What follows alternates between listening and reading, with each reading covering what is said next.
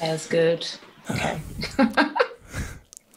Hey everyone, Anthony Fantano here, Internet's busiest music nerd. I hope you are doing well. Uh, thank you for watching on YouTube this exclusive Twitch stream and interview that we're doing right here with singer, songwriter, the phenomenal Miss Lianne La Havas, whose new self titled record has just dropped this year, reviewed it recently, and uh, we're going to ask her as many questions as we possibly can about that and anything else that pops up. How are you doing?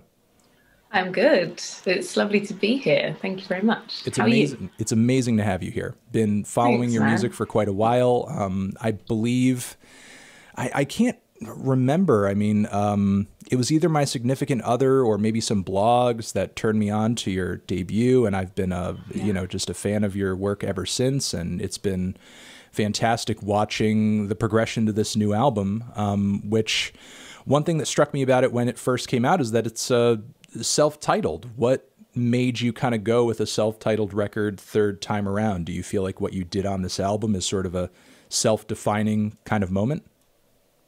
Um, in a word, yes. I I actually decided as soon as I had released my second album that this album would be called the self-titled album. Um, it's because I I enjoyed making my last two albums, and um, you know, I had I, I had a certain level of expression that I think was satisfied, but I always felt I could go a bit more, a bit deeper. I still had more to say that I wanted to be able to stand by the entire thing, um, just and be able to, you know, just say, yeah, this is definitely all my decision. So I I put it out there at, the beginning of the process. Um, when you're talking about going deeper or depth in general, like what exactly do you feel like you're digging deeper into on this new LP that maybe you weren't on, for example, Blood?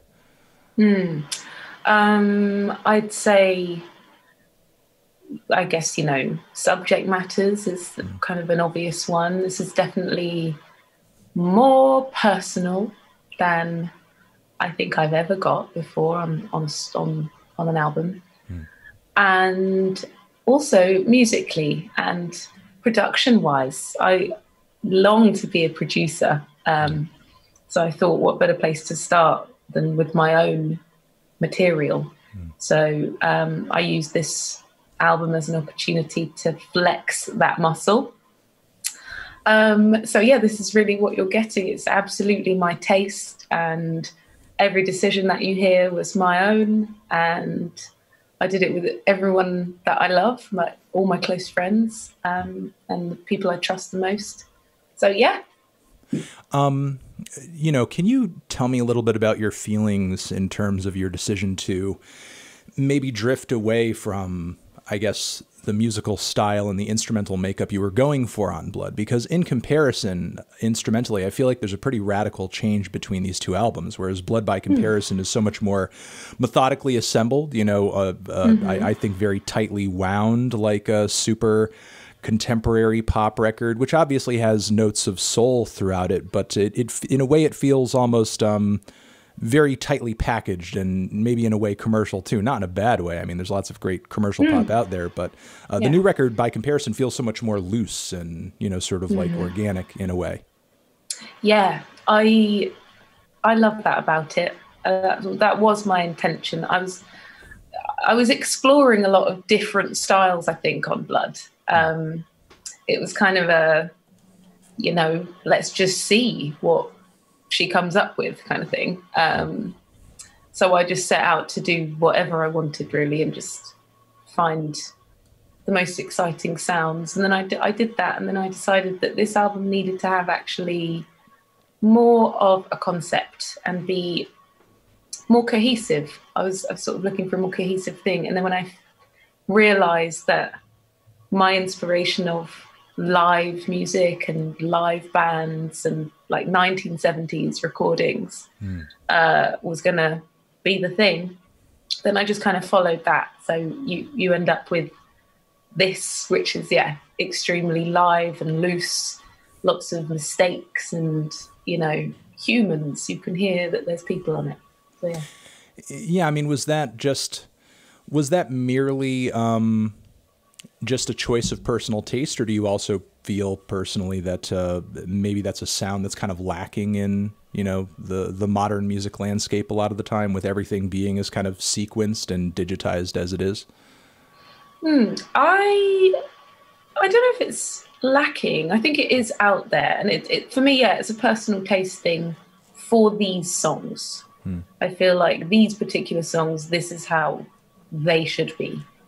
Um, but it's not to say that I wouldn't go somewhere else sonically for my next project. I think it's just it needed to be this raw because of the content of the songs. Um, but yeah, I think in in modern music, what I personally always want to hear is is the perfect amount of digitized and human at the same time. Sure. So that's personally what I'm trying to do. Yeah. Just find like a symbiotic balance between the two. Because mm-hmm. I, I like, I mean, really, if you dissect a lot of these songs as well, you'll hear that there are programmed beats inside of them. Hmm. And then I've played like a looser guitar over it, or the vocal is really loose. Um, or I've got like my drummer to play along to the program beats as well. Hmm. So yeah. And sort of going about it in this way, did did this involve, I guess, more studio time anticipated uh, prior? A lot of takes, you know, just like this whole performance doesn't sound exactly the way that we want. We've got to do it all over again, essentially. Hella takes, hella studio time. yeah, like I probably underestimated the amount of um, revisions mm. we'd have to do because I've never done an entire album this way before. I did a couple of songs on the last album. I did um was it Green and Gold on mm. Blood was the live one and Unstoppable was a live one. But yeah, never took on an entire project. So there were times, yeah, where I was like, oh no, I've spent all this time and money in the studio and it, it's not right. And what are we going to do? But you just don't panic and you just do it until you get it right. And it's all okay in the end because nobody knows about all of that once once you release it. So yeah. You know you talk uh, earlier about blood being um, a record where you're trying a lot of things and attempting a lot of things and just kind of seeing what pans out. But um, you know, I, I, hear a similar amount of diversity and versatility in this record as well, but it's a lot more subtle. You know, there are some tracks that seem to be a little bit more influenced by dance music, or maybe there's a beat that has a bit of a hip hop flair, or there are some songs that mm-hmm. uh, maybe have a bit more of a touch of soul. I mean, was there a conscious effort to sort of make sure that you're incorporating all of these different sounds, but making sure it all comes together feeling a lot more uniform by the end of it? I guess that was my intention, mm. but I didn't necessarily have a plan to do it like that, mm. if you know what I mean. Like, I'm always, to some extent, exploring anyway when I'm when I'm writing or recording. So there's a lot of stuff that was just sort of discovered from the process of doing it. Um, but yeah, as a, as I set out to do it, I just wanted to um, make something that got all of my interests into the whatever. I'm always trying to make the ultimate song, the ultimate culmination of everything I'm influenced by. Hmm. Um, speaking of the more personal angle of this record, I mean, it's it's yeah. pretty clear from listening to it, but um, if, if we could go into, I guess, what I read as, uh, I suppose, a narrative progression to the songs. I mean, mm-hmm. it, it doesn't read like a literal word for word story, but it seems like the feelings behind the tracks move in a certain direction as the album, you know, sort of comes yes. to completion. Um, you know, w- what exactly is this story that you're telling on on this record without, I guess, um, you know, because cle- clearly there's an effort to not get so personal that you're, um, you know, divulging everything and, and I guess sort of like, uh, uh, I, I, guess in a way incriminating yourself in a way yeah. personally. But, um, you know, yeah. if, if you could go into the, uh, the process of, I guess, making an album that does have more of an emotional progression to it, you know, without uh, uh, going to places where you don't want to go, I guess. Yeah. Um, I thought you were gonna like ask, tell me the name of the oh. of the guy. no, no, no. I, I, I, listen, I, personally, I don't, I don't give, I don't give a shit about the guy's name. Yeah. you know, just uh, good. If if, yeah. if, if, if, you, you know, if, if you could just go into the, you know, I, I, I need to start telling the story here. I need it to mm-hmm. finish mm-hmm. here. And, yeah. you know, basically trying to assess all of these moments, I guess, through that personal progression that you felt like you needed to embody in a song, you know, it is uh, yeah. uh, uh, mostly what I'm interested in. right. okay. Um, yeah, no, I, it was. So it, so it starts at the beginning, which I see the song Bittersweet. I kind of see that as the prologue. Mm let's say. So it kind of tells you what the rest of the album is about. Mm. And then I think each song after that dissects a piece of um, where bittersweet left you. Can't speak. Um, it's uh, chronological. A lot of it was kind of written as these moments were happening in my life. So yeah, so you've got you've got stuff happening from five years ago that I, you know, kind of made a note and then started a thing and then picked it up later when I had lived the experience. Um, and yeah, and it uh, it kind of goes through the arc of, let's say, maybe a toxic relationship. Hmm. Um, don't really like that word, but it, it kind of it kind of is that basically. And then it ends up in a neutral place, I think, with the song Sour Flower, um, which I see it as kind of hopeful, but there's still some work to do that I'm, you know, it's like a to be continued at the end. And there is a middle, which is kind of my um, my descent, I guess, you know, the, the breaking down of the relationship and my own rock bottom. Hmm. And then I, yeah, I get to a neutral place with Sour Flower. So I hope that helps. Yeah, I mean, that, that was uh, sort of one of my questions going into this thing because it has been five years since the release of Blood, and you know, personally, I was curious as to like everything artistically, and and I guess to a degree personally, that has kind of brought you to this point. And, and what you're saying is essentially like what's been going on for the past five years is is literally mm. the story that you're you're telling on this record. Yeah, pretty yeah. much. Obviously, I did loads of other stuff, yeah, um, yeah. but emotionally, um, and you know, just uh, in who I am and where, where I am that's what was going on. Hmm. Um, so, uh, you know, being familiar with your work and your back catalog, you're obviously no uh, stranger to covers, and um, mm-hmm you decided to include one in the track list of this record that I'm sure that you've gotten a lot of questions about. Uh, yeah. But you include a, a, a, version of Weird Fishes, uh, Radiohead's Weird Fishes on mm-hmm. this record. Um, do you want to go, uh, because I have numerous questions about it, I guess uh, the first one off the bat before we get into the process of sort of coming through with what you did musically here is how would you say the cover kind of plays into the the narrative of the album itself you know since we're still kind of on that. I remember when i was recording it with my band um, it was at a sort of turning point for me personally uh, in my personal life and my you know i felt like I had turned a corner, basically. Um, and so I remember recording it and just it just feeling incredibly appropriate mm. um, for the time we were doing it. The fact that we were all together as a band for the first time, um, recording together as this band. Uh, we had been together for a while, but we had only played a couple of gigs.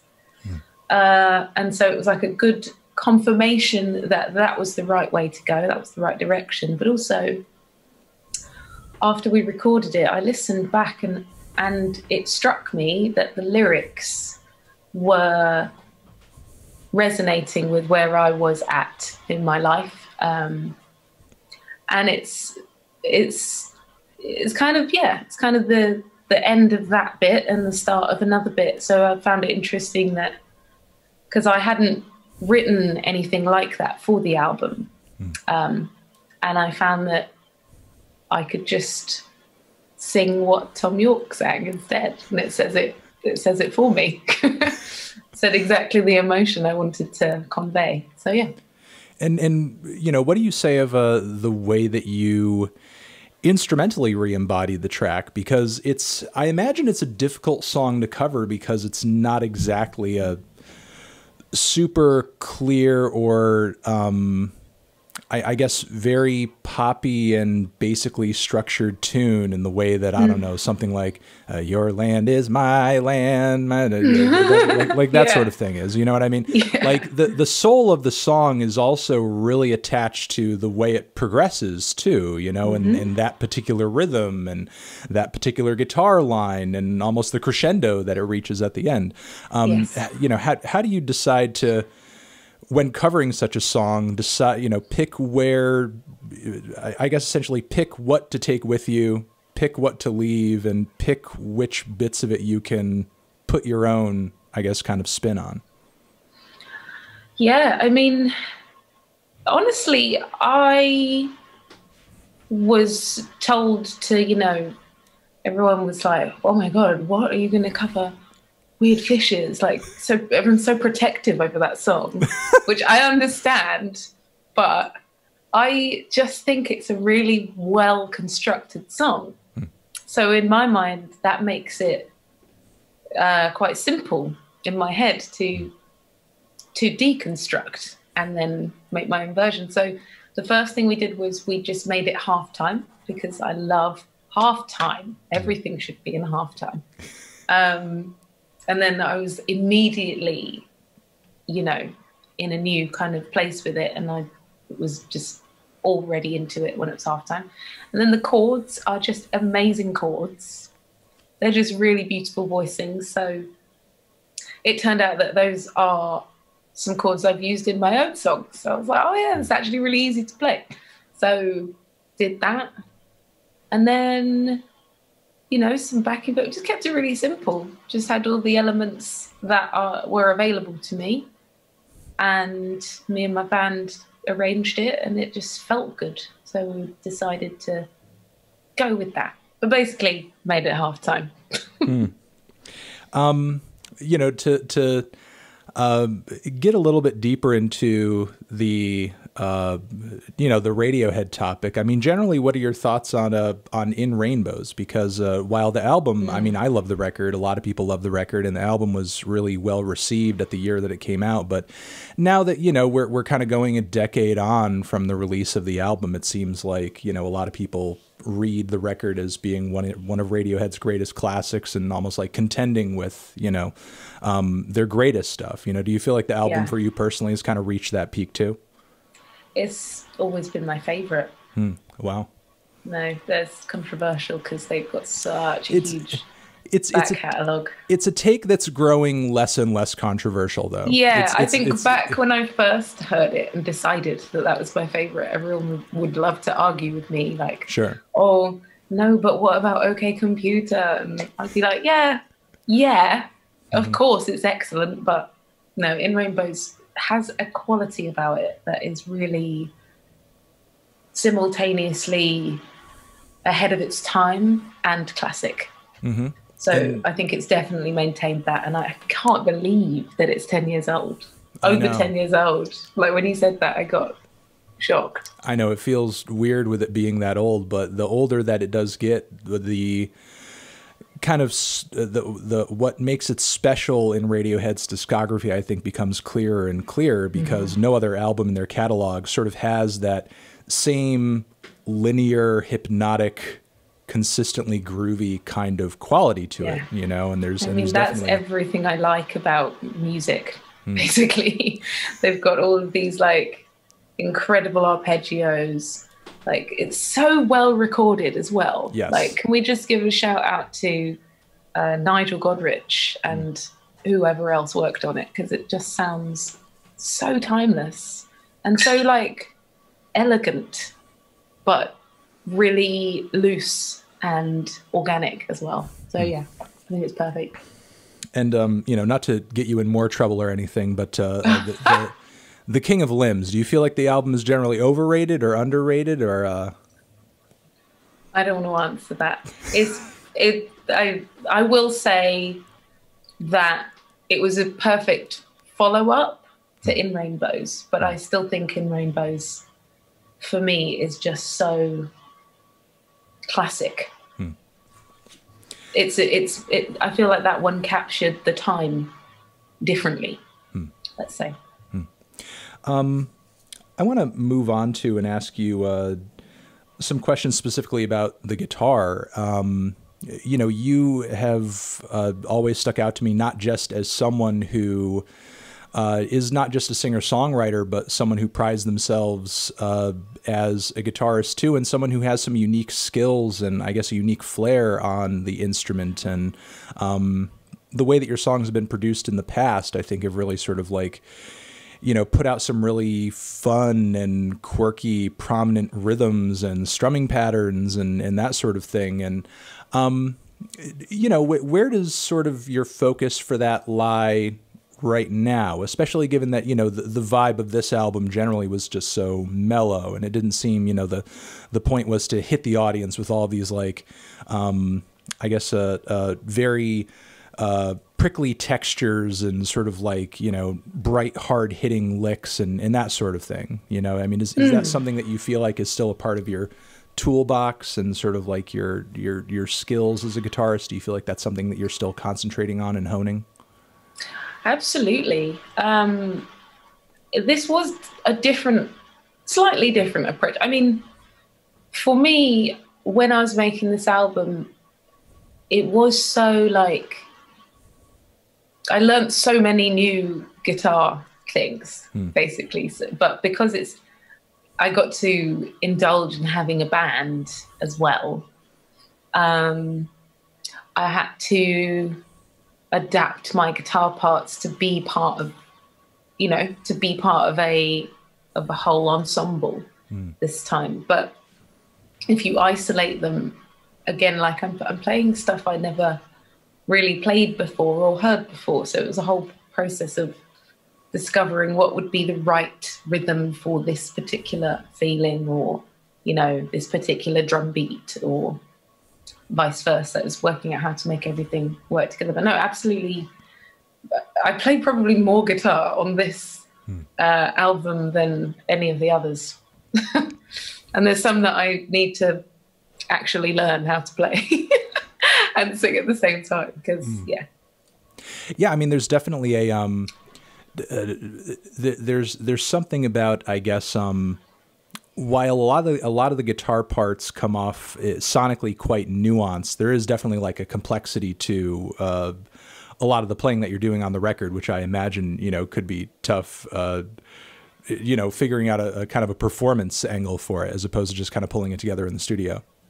Exactly, hmm. exactly. And I think, you know, basically not being able to go on tour this year um, that would have been my time to like get really comfortable with the band and you know find our find our pocket um, on these new songs. But don't worry, I'll do it next year. You know, with the um the pandemic affecting things in the way that it has, how do you feel like, you know, that has altered either I don't know, um the reception of the album or your or your creative process in general? Because I I, I know that uh, creatively you've uh, you did you did that music video recently that was almost like you know almost a bit of a quarantine type theme, I, mm-hmm. I, I, suppose. Um, yeah. You know, I mean, what it, it, how has you know this kind of been affecting you personally in your creative process? You know, uh, assuming that you're willing to talk about that, given that you've sort of reflected in, in your work in a way. Mm-hmm. Um, I mean, it was it was unintentional obviously nobody planned on this year being this way. Yeah. Um, and if I'm honest, you know, it hasn't been the most uh, smooth of releases. um, there are definitely a lot of emotional ups and downs for me um, during this during this time. Um, but at the same time, I feel like if I had waited to release it. I it may just have not. I I would have maybe lost personal momentum with it, you know, because I had been holding on to it for so long. I thought, well, I made it in order to release it, so I might as well release it. But yeah, I think the quarantine just sort of made other things a bit more complicated. Like obviously not being able to play the songs to to humans in a room, um, and also you know not being able to do video shoots or having to rethink a lot of things. So in some ways, it was really fun hmm. to rethink the visual aspect, but in a lot of ways, because I didn't plan on it and I have, don't feel like I was quite prepared, um, I found it quite restrictive. Hmm. But yeah, now things seem to be looking a little more hopeful. I'm, yeah, I'm going to be able to do more stuff in the near future. Yeah, hopefully. I mean, the vaccine announcements recently have been uh, pretty uh, encouraging. Um, yes. We'll uh, take some fan questions now. I have a bunch in front of me, and if okay. you guys want to uh, submit more, as I said earlier, there is a tab underneath this module on Twitch where it says Q and A. You can submit a question, and the mods will add a little bit more as we uh, continue through the interview. Um, Third Robe wants to know. Um, I, I, think this one's pertinent to what you had mentioned, uh, uh, you know, related to what you had mentioned earlier. Um, mm-hmm. What or uh, who inspired you to I guess, take more of a, a, primary role over the production of your music? Mm. You know, was it sort of the process of your earlier records, or a certain producer, or the production on a certain album, or something? I mean, what kind of drove you, drove you in that direction? Um, I think it was really because that's that's where I started. That's how I started, and I've always felt very strongly about how my own music should sound. And I think mm. a lot of a lot of artists, particularly maybe female young artists. Don't want to get too, I don't want to get in trouble, but basically, I think a lot of us, when we're starting out, get told that we need to work with this producer and that we need to work with this guy and that guy and a load of strangers and make a hit in 12 hours with someone you've never met. Hmm. So I guess this album was my opposition to that way of thinking. I basically I used to just sit on my computer and make all my own beats and record everything myself. And it wasn't until like I got signed that I had the opportunity. I don't want to act like it wasn't a great thing because I met some incredible producers and I've learned so much over this time. So I think I got the confidence back mm. to take on my own project again. You know, like I've I've learned what I like and learned what I don't like from doing it that way. Um, and so now I was able to kind of have the authority and you know to work with people that trust me artistically to help me achieve the thing that I wanted to achieve. Yeah, you're you're going back to your roots essentially. Mm-hmm. Um, you know, we have a lot of creatives who watch the stream, so uh, you know it's yeah. not uh, surprising that we get uh, questions like this next one from uh, Naily Boy. This person wants to know uh, how often do you personally feel like you are dealing with a bout of maybe writer's block or something, and, mm. and how do you sort of work through the process of overcoming it? Maybe even in a, uh, I guess, a context where maybe you're in the studio and the the need to sort of like punch through it is is very immediate. Um, I mean, it's the worst when it happens in the studio, especially when it's being paid for. For some reason, that really induces anxiety for me. Um, I think I think for everyone and, to a degree. Yeah, like, and therefore, just nothing comes. So, yeah, it's. I mean, it. Yeah, I definitely, like any creative person, I'm assuming I have dealt with that a lot just a lot. Like basically, whenever I'm not writing, I feel like, oh no, I've got writer's block. And then when you actually sit down to do it, just some days you're just like, I have no idea. But I think it's just a case of not being um, critical of yourself too much, like not um, not treating yourself badly because you know not acting like there's something wrong with you. Mm. i think that will make you feel more blocked. So eh, i like to take it easy on myself and just step away from it relax do something else creative because doing other things will inspire the thing you want to do i think hmm. so just take yourself out of the situation if you can i don't know go for a walk watch a film films are so underrated for musicians to be inspired by. There are so many cool things going on in cinema. So hmm. maybe that's what I like to do. So. Um, Lab City asks about the song Bittersweet. Uh, saying yeah. it's one of their favorite songs of yours. It, was there a specific inspiration for the chorus on that one? Um, I don't know if there was a specific inspiration, but it does remind me, now that you've asked the question, it does remind me of one of my favourite songs of all time by Jill Scott, um, where it's basically she starts it's a long walk. She starts off low, she does the chorus low the first time, and then belts it at the end. And I always wanted to make a song where I could physically do that because I hmm. love that song. Um, and this was my opportunity to do that. And I, it sort of just came about. It just was in the right key for it to be low and high for me. So, yeah. Uh, next, we have uh, Unknown Geek, who I know has popped in uh, on a few streams that we've had. Uh, they want to know if, if you have a, a perfect pitch. Do you have perfect pitch or uh, or uh, relative pitch or, or anything like that? Relative. What is relative pitch again? Is relative when you it's it's can it's, remember it. it. It's it's you you could pretty much um you, you you could pretty much nail the melody, but you can't um you, you can't tell what the note is. Like if someone just randomly yeah. sang an F, you can oh that's an F, you know. Yeah, no, I think I have relative pitch, but okay. I know some people with perfect pitch, and it is weird. it's so it's witchcraft.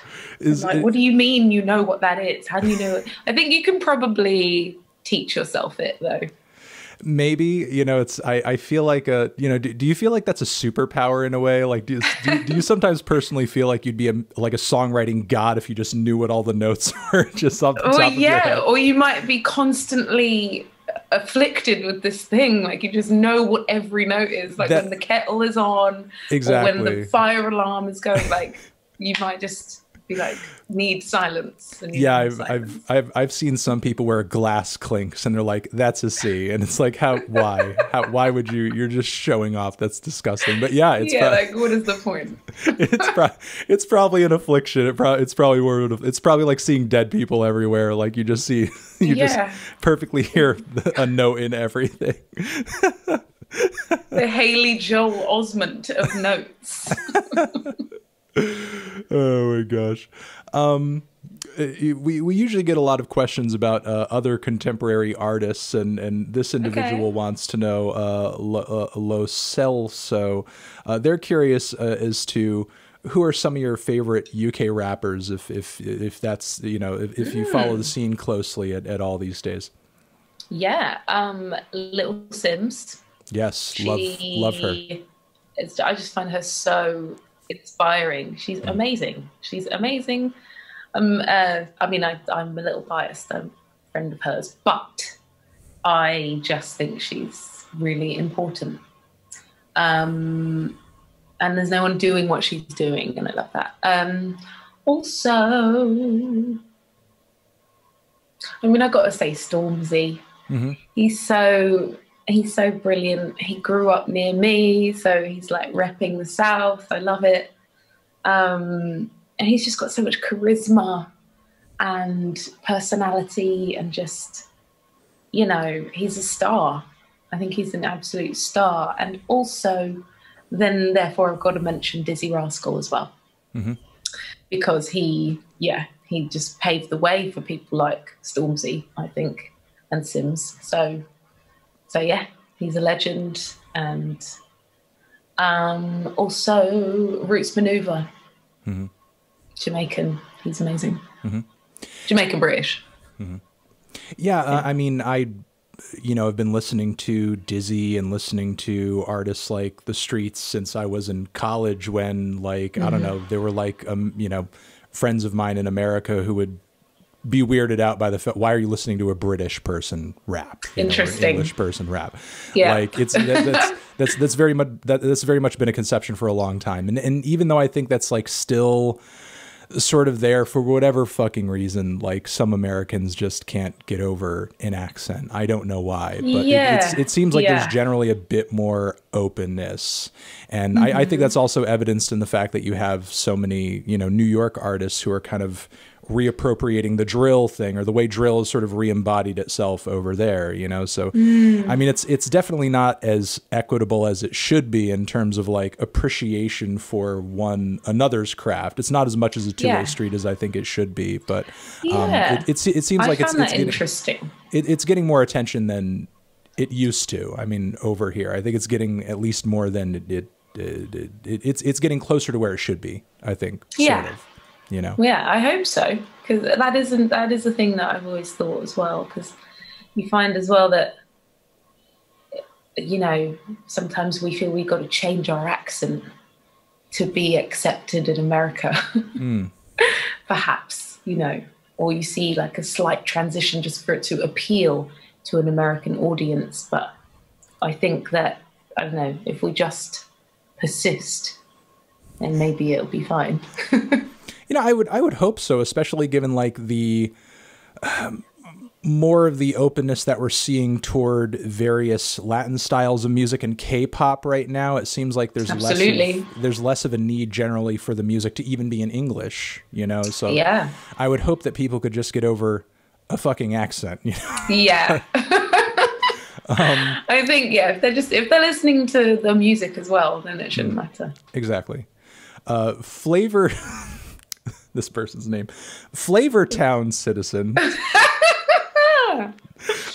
wants Does, to is this does this person watch the Food Network? I, I'm guessing Flavor so. Town. I'm guessing so. It's it's it's it's got an our though, so I'm imagine they must be watching it over in the UK or maybe in Canada. I don't know, but Wait, um, you don't wait.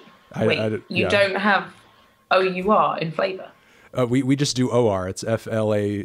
V O R. Yeah, we we we I didn't totally know we, we skip the U. The U's not even there. The U, we, That's we just so don't weird. do the. I didn't know that. Um, yeah, I'm it's sorry. Flavor. Yeah. Anyway, this person wants to know um, what what what what's your generally your guitar of choice these days, and what guitar did you use for the record primarily? You know, in in in a lot of um, you know uh, the stuff that you're recording these days. Like, what kind of tones and timbres are you going for, and what models are are bringing you those sounds that you that you're looking for? um, so I'm looking around because I've got just a bunch of guitars. You're surrounded by guitars right now. Yeah, pretty much. There's like a two here, three over there. um, I love my pride and joy, my tried and true Harmony Stratotone from 1964. Um, it's really, really nice. I got it just before I recorded my first album. So that's the song, sorry, that's the guitar I'm talking about on the album. And it's um it's hollow body it's very light. Uh, and when i played it the first time it just thought it sounded kind of like a piano in a weird way. It was very round and full yet very delicate and just, i just thought it was perfect. So i have dabbled obviously in a few other guitars. I've got some love for gibson and i've got some love for fender. Um, but that's been basically the one you do hear a strat, though. There is a strat on the album on the song Green Papaya. And there is a nylon string guitar, which is my second love. Just, I love classical guitar. So um, I've been getting into a lot of nylon string things. So I got the nylon and the harmony. Yeah, there's a lot of great nylon recordings out there. Um, you know, that's what makes some records like uh, like some you know Phil Elverum, some Mount Eerie records pretty special for me. It really kind of brings that very rustic tone that sort of fits his songwriting about trees and wind and mountains and so on and so forth. It, it definitely kind of That brings sounds that really. I'm going to be honest. I don't know Mount Eerie. yeah. Uh, check I, out I want to. Yeah, yeah. Um, uh, Let me write this down. I'll, I'll, I'll, I'll, e- you know, I'll, I'll send a message or something. But uh, you yeah. know, the glow part two, great record. Okay. The glow part okay. two, or um, even uh, uh, one of his latest records, uh, which also follows a, a, a, narrative too. A crow looked at me, which um, you know, is uh, uh, the primary songwriter of the project, Phil Elverum. The the the album is actually about the passing of his wife. It's it's quite heartbreaking, but um, mm. you know, it's it's a it's a really kind of uh, dark and stunning record, and it really does have kind of that dark, rustic quality to it because of the instrumentation that he that he uses. Mm-hmm. Um, uh, a few people have been asking uh, in the questions here if there are, uh, based on the previous collaborations that you've done, any artists that you're looking forward to collaborating with in the near future, maybe when the pandemic sort of subsides. Mm-hmm.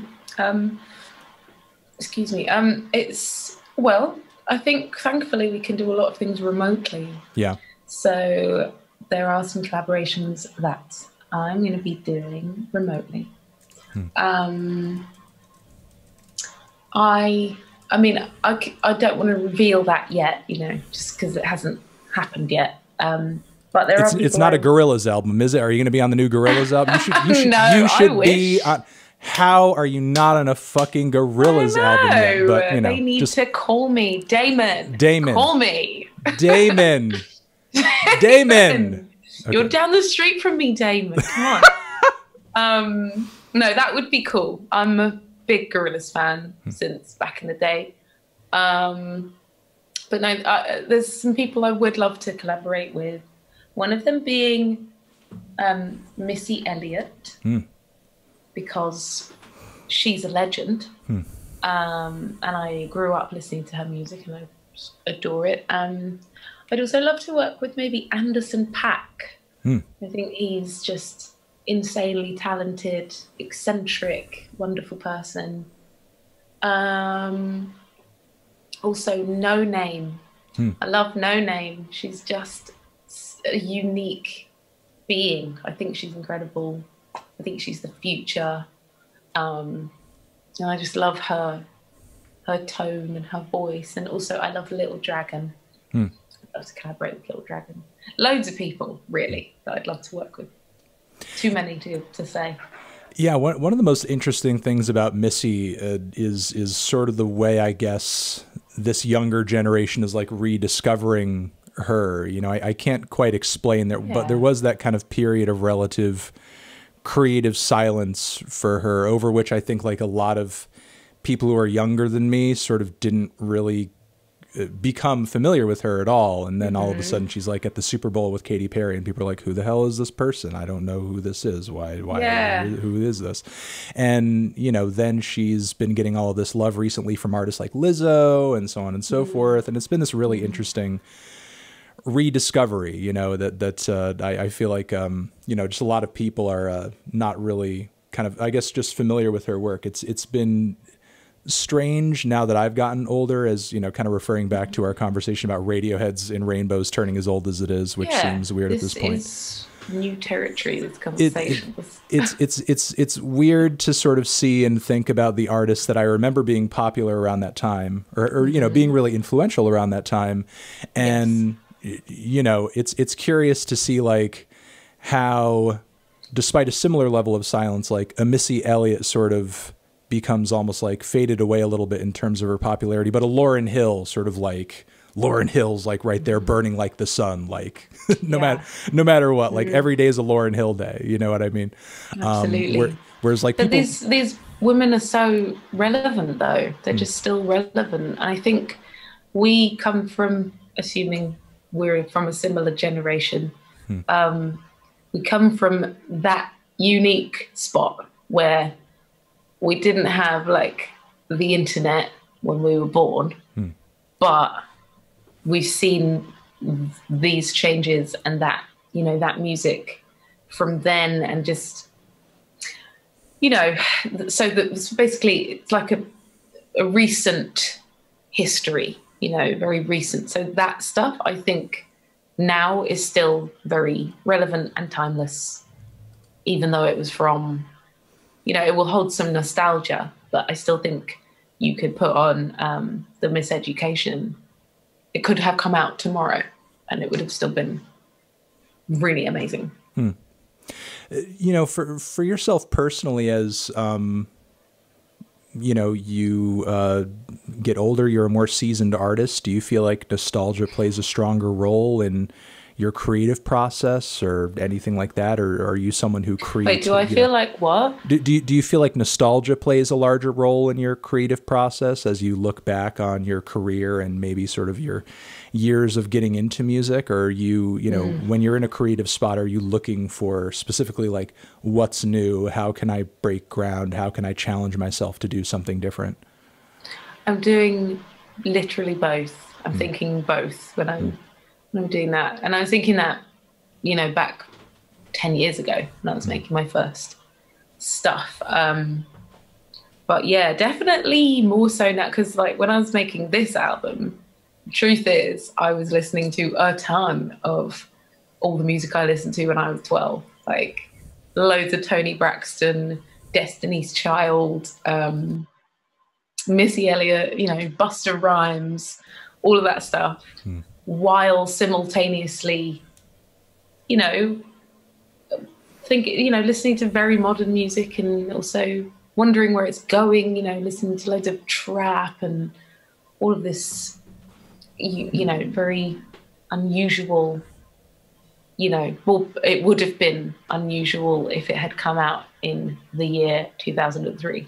Sure. So yeah, I, I am kind of always trying to be halfway between everything all the time. yeah, I mean, not that you um, strike me as somebody who avoids things that are new or poo poos new trends or anything like that, but uh, creatively, no matter what point of your career that you've been in, you've always struck me as being very above above the fray. Like it couldn't mm-hmm. matter if I don't know. Um, tubas were the newest fucking hottest thing that popped up in every track. You're going to do what yeah. you're going to do. Like, you know, it could be Absolutely. raging outside. There could be a tsunami going on, you know, but you're going to you're focused on what you're doing in, you know, your world and it's going to come out that yeah. way regardless. I I have a thing about that. I feel like I can hear when something sounds of the time or hmm. like if it I don't know, sometimes stuff sounds already dated to me when it comes out. so I feel like I feel like I purposely want to get in a bubble, and I d- I don't like to be influenced sometimes by by current things. You know, I, I intentionally push that away so that I can make something that I know I'm gonna like forever, hmm. rather than you know I, that being said, though, I would love to make you know like a hit song, um, and even if it was one hit for like this year, like mm. I'd I'd like to know what that feels like. But I do wonder, ten years down the line, if I made a hit today, would I like it in ten years? Mm. You know. So next year when the album drops, there's going to be that one song with like the 808s are going to be on there and the hi hats are going to be going triplet, and you know that's that's that's that's that's how that's going to go. You never know. You never know. or you'll hear that influence in a timeless way. Mm-hmm. Got it. Got it. All right. Um, well, you've been a fantastic guest. Uh, thank you for coming through. God, this that's been... flown by. Thank yeah. you so much for having me. Yeah, got, been... what? How? We've talking. Time is moving faster now that you know we're millennials.